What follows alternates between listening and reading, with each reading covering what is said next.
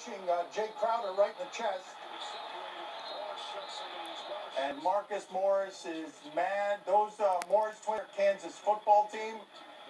Uh, and Marcus Morris doesn't think much of Jae afterward. I don't think it's a build up, man. I think dude is just, you know, he played the game a different way. Like he just a lot of female tendencies on the court, flopping and throwing his head back the entire game. And like I said, man, it's a man's game, and you just get tired of it. His game is soft.